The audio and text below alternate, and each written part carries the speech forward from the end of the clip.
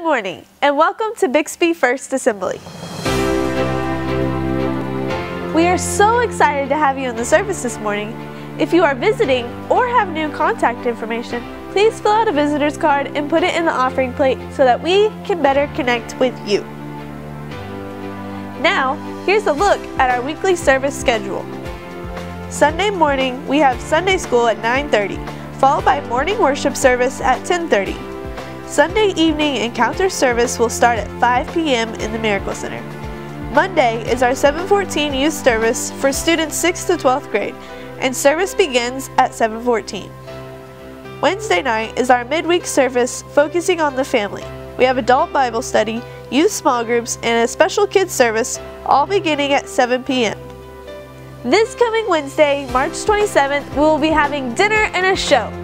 You will be entertained, ministered, and challenged through drama and music. We will also be taking up a donation that will raise money for a fine arts program, investing in kids who are using their talents for the Lord.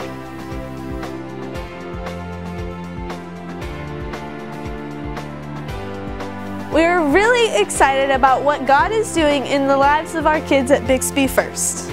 This Easter is going to be an experience that your kids will not want to miss, so be sure to have them here for a fun time and a special message will also be presented titled Empty. And usually when we think of things being empty, it's not a, not a good idea.